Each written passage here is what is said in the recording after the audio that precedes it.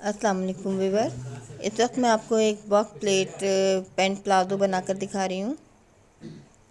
इसके लिए मैंने ये बेल्ट का कपड़ा लिया हुआ है। इसकी मेज़रमेंट पहले से मैंने तैयार करके रखी हुई है।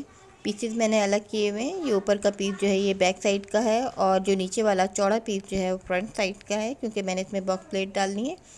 आमतौर पे हम बैक साइड का पीस चौड़ा रखते हैं और फ्रंट साइड का पीस कम रखते हैं। लेकिन क्योंकि मैंने इसमें बॉक्स प्लेट डालनी है तो ये फिर बॉक्स प्लेट के बाद ये कम हो जाएगा। इसकी मैंने लेंथ थर्टी सिक्स या छत्तीस इंच ली है। ऊपर इस पर बेल्ट भी डलेगा। और जो ऊपर वाला जो बैक पीस है, इसको मैंने तीस इंच रखा है हाफ़ ये पंद्रह इंच पर है। और ये फ्रंट पीस जो है, मैंने ये अठारह इंच पर रखा हुआ है। कंप्लीट जो है ये छत्तीस इंच का है, पूरा पीस चौड़ाई का। अभी दोनों पीस मैंने बिछाए हुए हैं। इनका इसकी एक ही दफ़ा में मैं कर्व लाइन कटिंग करूँगी। ये फैब्रिक जो है, ये शॉर्ट सिल्क है और ये काफ़ी लचक वाली का फैब्रिक होता है। अगर हम इसका रेप वाला ट्राउज़र भी बनाएँ तो बहुत खूबसूरत बनता है। ऐसे कपड़ों की चुनें, बहुत अच्छी आती हैं। ये मैंने कर्व लाइन की चौड़ाई तीन इंच ली है। नीचे से लेंथ में दस इंच ले रही हूँ।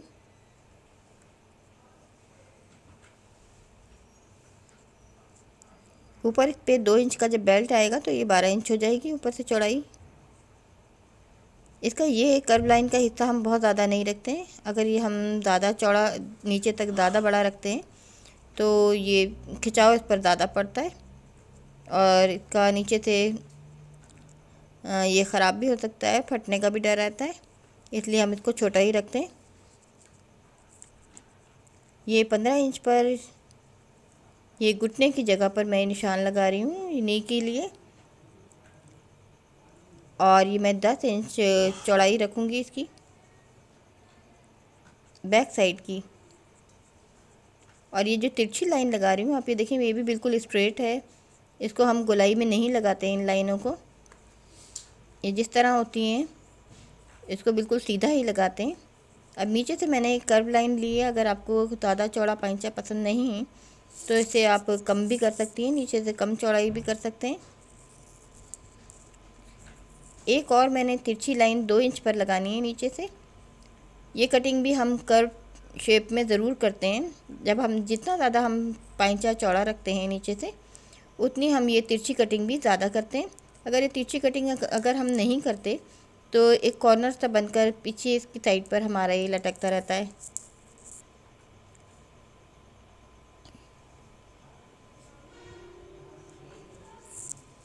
ट्राउज़र की अगर चौड़ाई हमारी कम है नीचे से पैंचे की तो हम ये नीचे की जो कर्व है, ये भी कम करते हैं। और जितना हम चौड़ा पैंचा रखेंगे, तिरछा जितना ज़्यादा कटिंग करेंगे, उतने हमें नीचे से ज़्यादा चौड़ा काटना पड़ेगा। अब ये कटिंग हो गई है, मैं साइड की भी कटिंग करके इसको अलग कर देना है। अब आप ये देखिए, मैंने नीचे से इसकी साइड की कटिंग भी कर दी है। अब ये चार हिस्से हो गए हैं।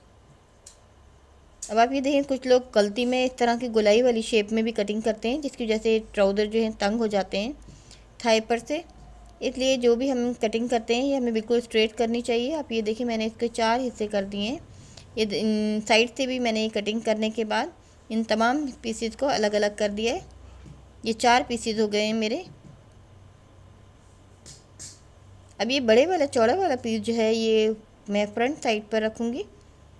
और जब मैं इसमें बॉक्स प्लेट डालूँगी तो ये बैक वाली साइड से भी एक इंच कम हो जाएगा। मैंने इतनी चौड़ी बैक बॉक्स प्लेट डालनी है ताकि ये कम होकर मेरी बैक साइड से भी कम हो जाए। देखें ये इतना चौड़ा मैं बैक बॉक्स प्लेट डालूँगी तो ये इससे इतना कम होगा।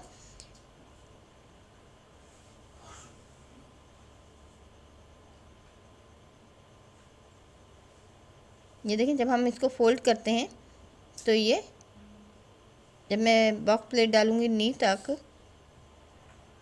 तो ये बैक साइड से एक इंच कम होगा।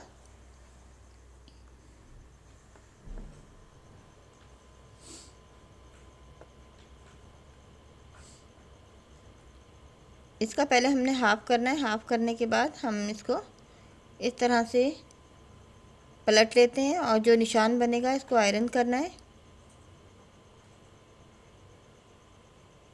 अब आप ये देखिए, मैंने इसको, ये नी से डबल किया है इसको, जहाँ पे ये हमारी घुटने की चौड़ाई है। मैंने इस कपड़े को यहाँ से डबल फोल्ड करने के बाद इसको वापस इस तरह से पलटने के बाद निशान लगाया है।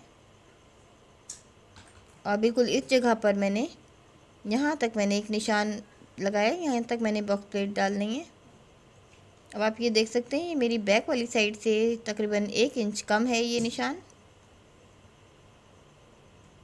ये पहले ये मैंने सीधी निशान लगाया, फिर इसको वापस पलटा है कपड़े को और इतना पलटना है कि ये बैक साइड से एक इंच कम रहे। इसको हम इस तरह आयरन कर लेते हैं तो ये हमारा निशान पक्के हो जाते हैं। इसी तरह मैंने दूसरे पैंचों को भी अलग अलग करके हम इसको निशान लगाते हैं, क्योंकि एक दाएँ तरफ़ आता है, एक बाएँ तरफ़ आता है। इसलिए दोनों पैंचों के निशान हमें अलग करने होते हैं, एक मैंने सीधे रुख रखा हुआ है, एक उल्टे रुख रखा है इसको। इसको भी मैंने इसी तरह से सेंटर बनाया है। नी की तरफ़ से हमें सेंटर बनाना है इसको, ऊपर की तरफ़ से नहीं बनाना है इसका। अब आप ये देखें, मैं बॉक्स प्लेट डाल रही हूँ बिल्कुल दो इंच का बॉक्स प्लेट है। यानी कि टोटल चार इंच का है, ये हाफ़ दो इंच का है।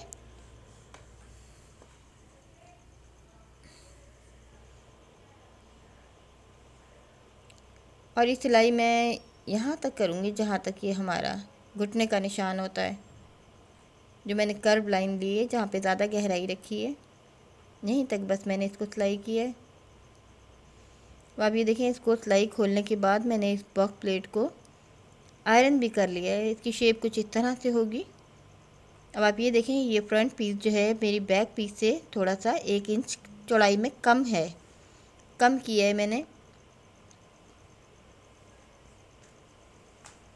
और इसको मैंने इस तरह से आयरन किया है कि इस बॉक्स प्लेट को हाफ़ दाएँ तरफ़ और हाफ़ बाएँ तरफ़ खोलकर फिर आयरन किया है।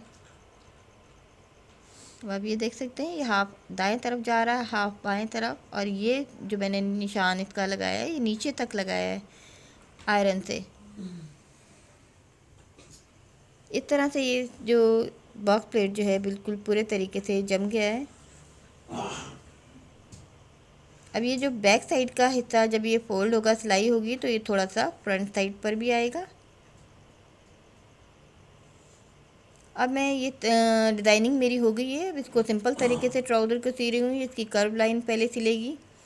बैक साइड की मैं सी रही हूँ। अब इसके बाद मैं फ्रंट साइड की भी ये दरमियान के दोनों हिस्से फ्रंट के जोड़ने के बाद ये इसकी जो सेंटर लाइन है कर्व लाइन है, इसको सी रही हूँ।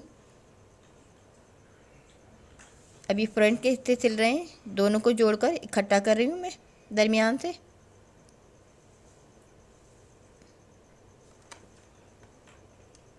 अभी फ्रंट बैक को जोड़ने के बाद मैं साइड कर लूँगी।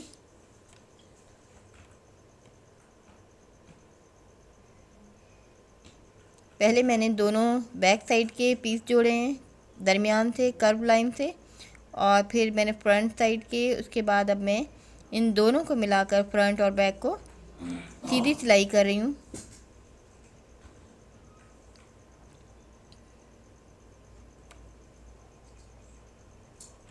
यह आसान सा ट्राउज़र है। हम चाहें तो सिंपल तरीके से अलग से बेल्ट डालकर भी इस पर इलास्टिक डाल सकते हैं और चाहें तो जिस तरह मैं भी आपको दिखा रही हूँ कि मैंने दरमियान में एक सीधी पट्टी भी डाली है।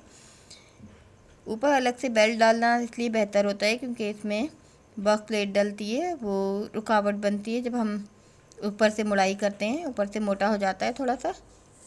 इसलिए हम इसमें बेल्ट जो है वो अलग से डालते हैं।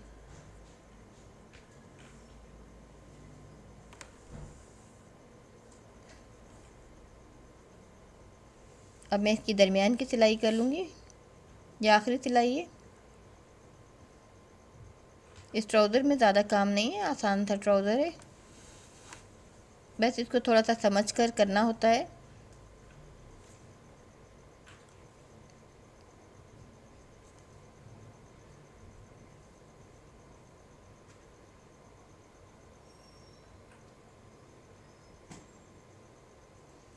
अभी सेंटर की सिलाई हो जाएगी और फिर उसका ऊपर से बेल्ट डालना है मैंने। उसका तरीका भी मैं अभी आपको दिखाती हूँ।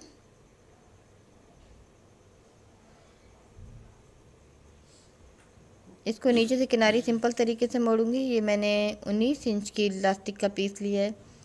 यह हमें अपनी वेस्ट के मुताबिक रखना चाहिए। एक मैंने सीधी पट्टी ली है, ये इसकी चौड़ाई पाँच इंच है। और एक छोटा पीस मैंने इसमें इसी पट्टी में से अलग कर लिया है, जितना हमारी वेस्ट है, वे इसका राउंड है ट्राउज़र का। उसके मुताबिक मैंने पट्टी नापने के बाद दो इंच इजाफी ली है। अब आप ये देखें, पहले ये पट्टी मैंने लंबे वाले हिस्से में रखी है और फिर जो छोटा वाला पीस है वो उसकी ऊपर फोल्ड कर दिया और लास्टिक को थोड़ा सा मैंने बाहर की साइड भी निकाल दिए ताकि इसके सिरे अच्छी तरह से पक्के हो जाएँ। दो तीन सिलाइयाँ कर लेते हैं, क्योंकि लास्टिक के ऊपर ज़्यादा प्रेशर होता है। अब आप ये देखें कि ये लास्टिक जो है छोटे हिस्से में नहीं है, बड़े हिस्से में मैंने रखी है। अब इसको इस तरह से दूसरे हिस्से को भी सर्कल को के दूसरे हिस्से को भी मैंने इलास्टिक से इसी तरह बंद कर दूँगी। अब ये पतली पट्टी का जो मेरा एक हिस्सा है, वो इसके साथ मिलाना है। इससे पहले कि इसमें बल ना आ जाए, हमें बल निकालने होते हैं इसके। इस तरह से इसके राउंड को सीधा करने के बाद, ये दूसरी जो बचा हुआ पीस था, मेरी छोटी वाली पट्टी का, इसको ऊपर की तरफ़ फोल्ड किया है। पहले मैंने लास्टिक जो लंबी पट्टी में रखी है और फिर उसके ऊपर मैंने छोटी पट्टी को फोल्ड किया है और इसका हमें ख्याल रखना चाहिए कि लास्टिक अंदर की तरफ़ से दब निकल ना जाए। इसके सिरे हम अच्छी तरह से पक्के करते हैं दो तीन दफ़ा सिलाई करने के बाद। अब इस तरह से ये मेरा एक राउंड तैयार हो गया है। इसमें मैं लास्टिक क्योंकि मेरी छोटी है और ये पट्टी मेरी बड़ी है तो अब इसमें ऊपर भी मैं सिलाई कर लूँगी ताकि इलास्टिक इसमें फ़िट हो जाए आसानी से। अब इस इलास्टिक को खींचते हुए हमें इस पट्टी की सिलाई कर लेनी चाहिए। क्योंकि इलास्टिक छोटी है और पट्टी बड़ी है मेरी ये। ये बेल्ट इस तरह से ये तैयार हो जाता है। उसको हम बाद में एक ही दफ़ा में लगाते हैं, सर्कल के अंदाज में।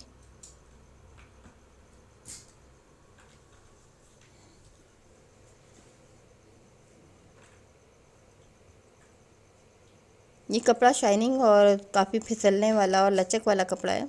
इसके ट्राउज़र भी ज़्यादा खूबसूरत लगते हैं। अगर हम ये सामने पट्टी सीधी ना भी बनाना चाहें तो एक ही दफ़ा में सिंपल तरीके से भी हम लास्टिक डाल सकते हैं। और अगर हमें लगे कि भी हमारी बेल्ट छोटा करना है तो हम इस तरह से लास्टिक को सिलाई करके ऊपर से हम इसको छोटा भी कर सकते हैं।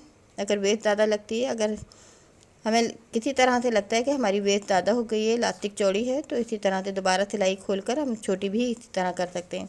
अब आप ये देखें, पतली वाली पट्टी जिसमें मैंने इलास्टिक नहीं डाली है, उसका मैंने पहले सेंटर बनाया है और सेंटर बनाने के बाद इस सेंटर को मैंने ऊपर रखने के बाद फ्रंट साइड से शुरू किया है। दरमियान की सिलाई, जो मेरी कर्व लाइन की सिलाई थी, वहाँ से मैंने शुरू करने के बाद इसको बैक तक ले जाकर और इसी जगह पर लाकर ख़त्म करना है।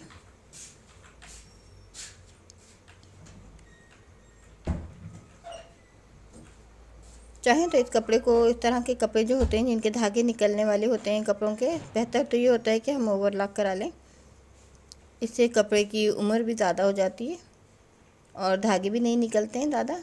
अब इस तरह से ये मेरा राउंड पूरा हो गया है और एक सिलाई मैं ऊपर की साइड पर भी इसी तरह से करूँगी।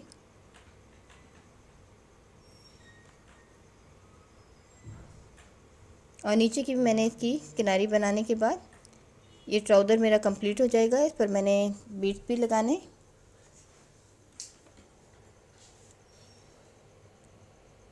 और अभी मैं आपको इसको कंप्लीट करके दिखाती हूँ।